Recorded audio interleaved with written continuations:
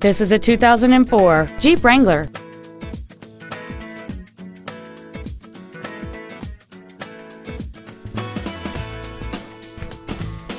Stop by today and test drive this vehicle for yourself.